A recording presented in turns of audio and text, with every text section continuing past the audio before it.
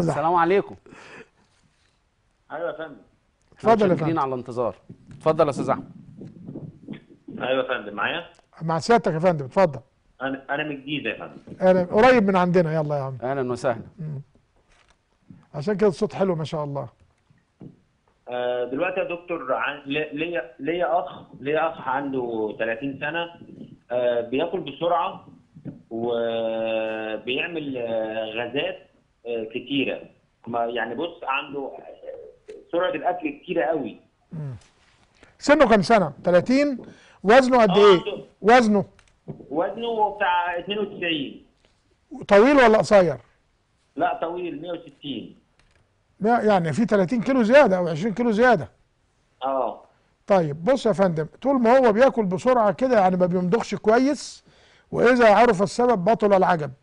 لازم ياكل على مهله بالراحة. انت تجيب له الأكل يبقى سخن قوي. أنا أنا تعبت معاه يا دكتور. ما أنا هقول لك أهو هو- هساعدك هساعدك أهو.